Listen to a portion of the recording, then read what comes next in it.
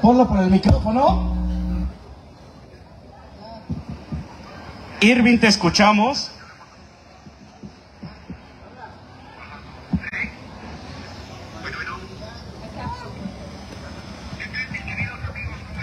Habla Irving García Suárez, eh, un preso político recluido en el penal de Almoroya de Juárez, en Santiaguito. Eh, como ustedes saben, el pasado 8 de octubre fue privado de mi libertad, donde me acusan injustamente de, una, de un delito que no cometí. Eh, el gobierno trata de callarme, el gobierno eh, evidenciando eh, porque soy un activista social, porque soy un periodista, porque soy una, una persona preocupada por su país, eh, ha querido callar mi voz. No en- solamente en es- de esta manera, los intentos eh, que, ha- que han tenido en diferentes ocasiones, en diferentes partes del país, eh, no han podido hacerlo. O quiero agradecerle a todos los artistas que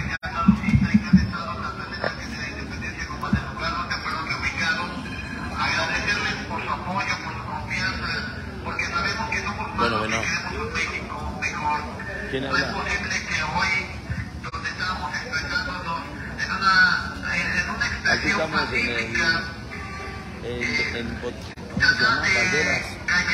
Te mando la ubicación. Mándame un WhatsApp, carnal. Mándame un WhatsApp, donde por las favor. mujeres y hombres puedan caminar libremente, donde todos podamos regresar a casa.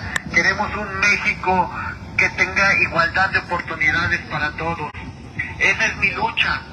Ya no queremos más corrupción. El presidente de la República nos convocó a ayudarlo. Y nosotros hoy que ocupamos el presidente de la República queremos ver su gran apoyo. Queremos ver el apoyo de las diputadas, de los senadores, de los diputados, de las senadoras, comprometidos con su pueblo.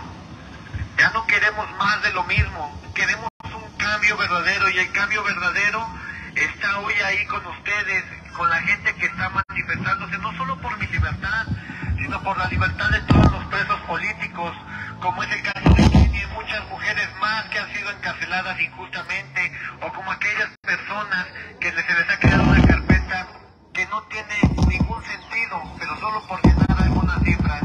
Hoy las prisiones, y yo doy cuenta de ello, de que muchas prisiones están llenas de peligrosos taqueros, de peligrosos de personas que no saben leer o escribir, de aquellas personas que su delito tal vez fue robar un pollo para poder comer.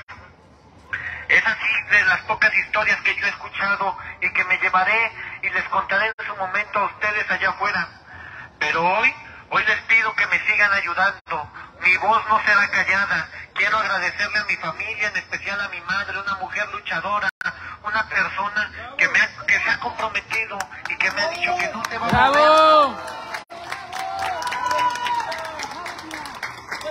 Gracias. ¡Te queremos, Lupita, te queremos! Gracias a todos, de verdad. Esto que están haciendo ustedes me lo llevaré por siempre en el corazón. Eh, como ustedes saben, mi vida corre peligro dentro o fuera.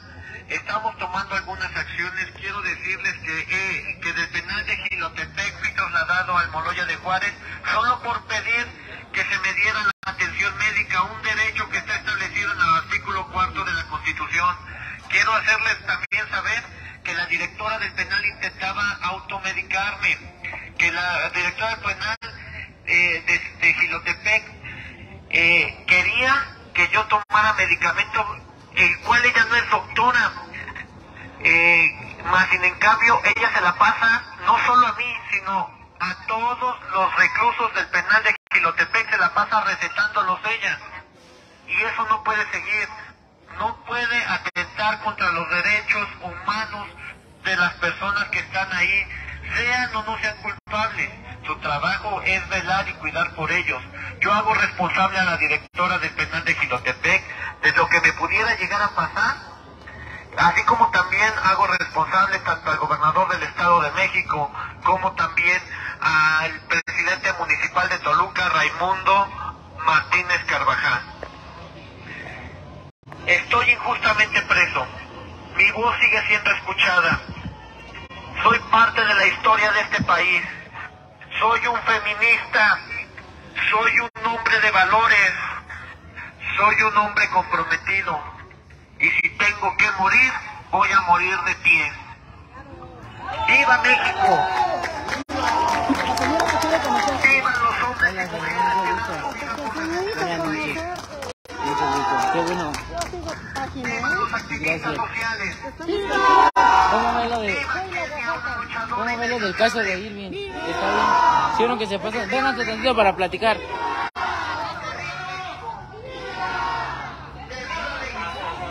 ¡Viva!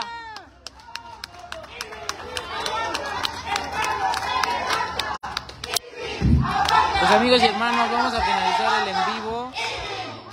Vamos a cortar la transmisión. Aquí está la Oaxaca con la raíz.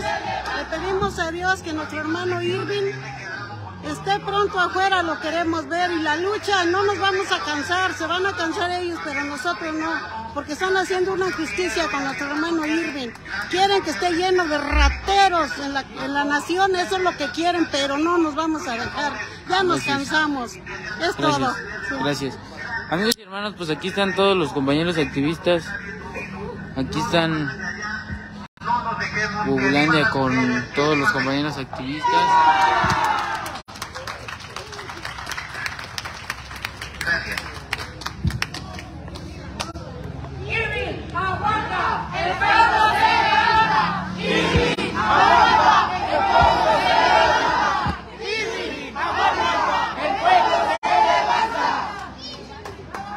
Amigos y hermanos, vamos a finalizar la transmisión.